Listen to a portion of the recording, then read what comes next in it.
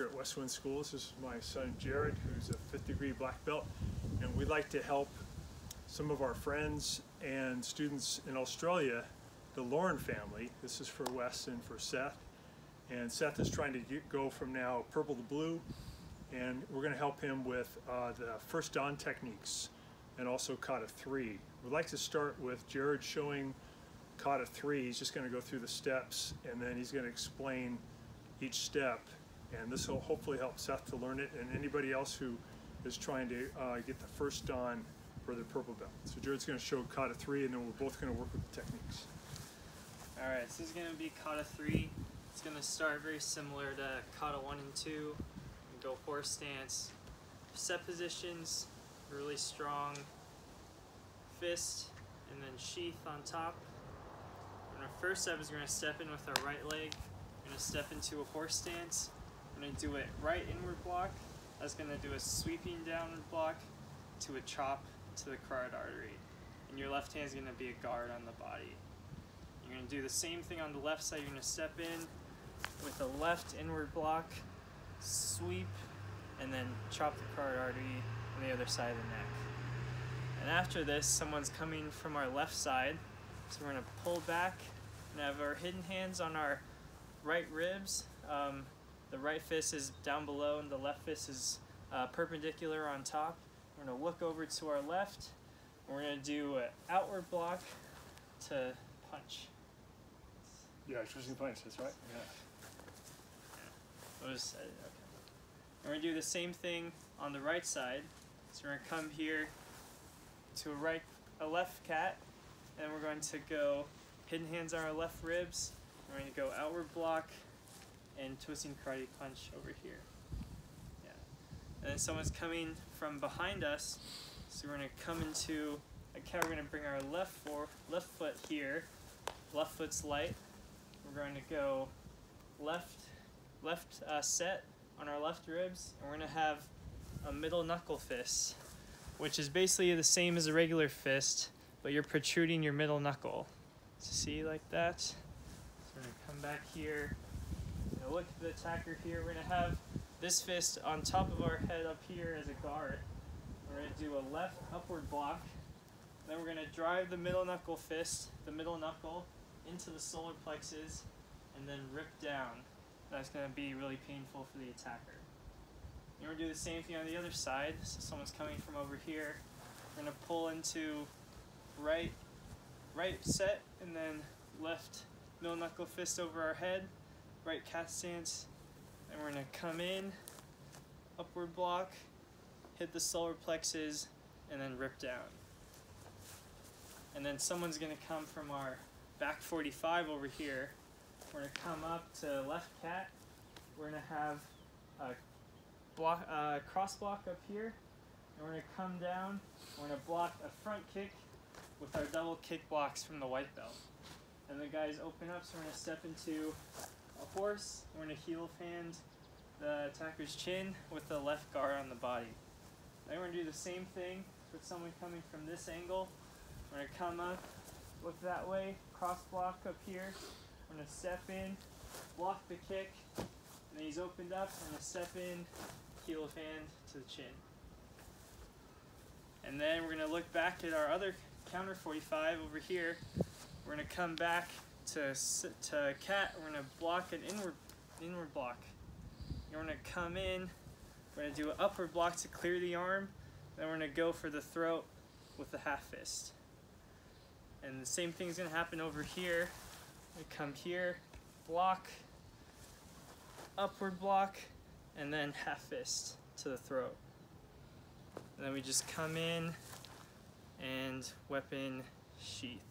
Then I'll run through it one more time, going slow, and just show you the pattern again.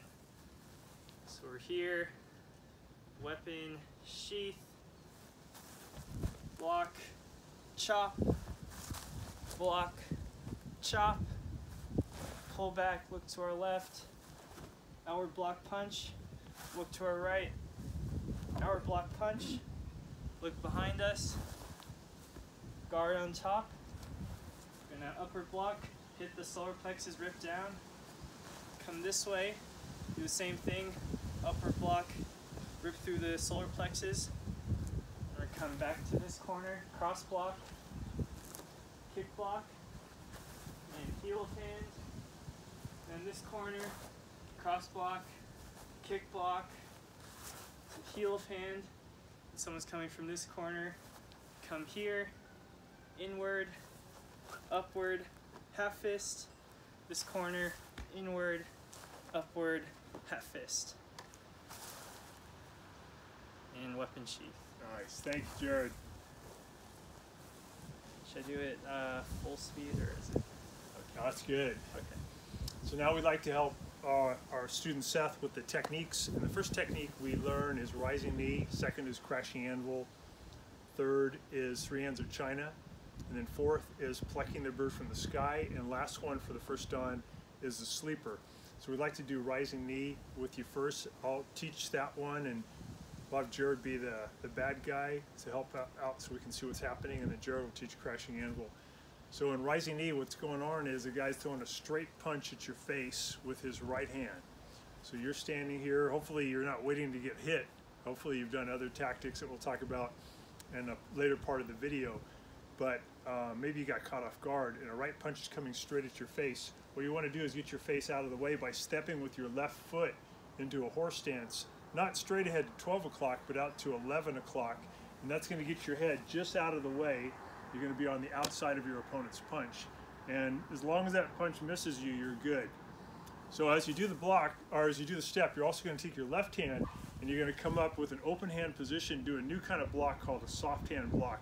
Your right hand will be in a guard position over by your solar plexus. So we're doing that block and that step at the same time. So Jared throws a punch and we go block. And even if he comes at me for really fast, all I got to do is just lightly step out of the way, stay relaxed, and just put a little bit of pressure.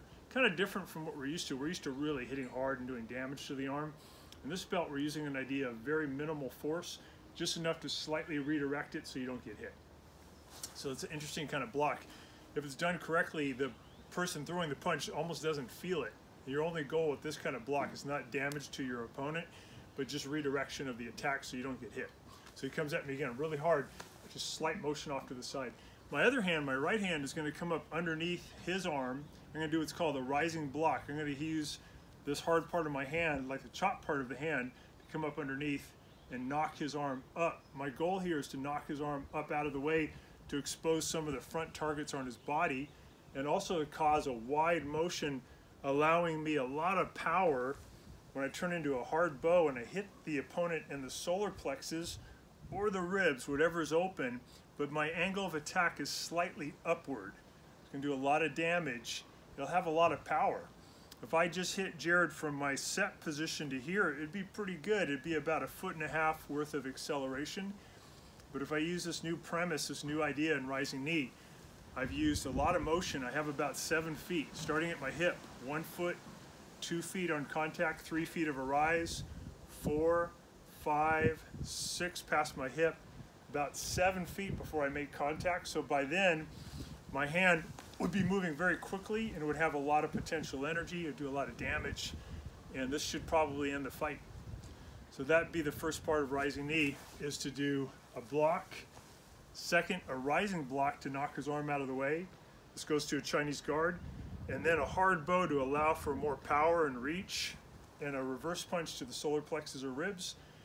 As he bends over, my right hand will naturally just reach up and grab his right shoulder. That'd be the shoulder closest to me.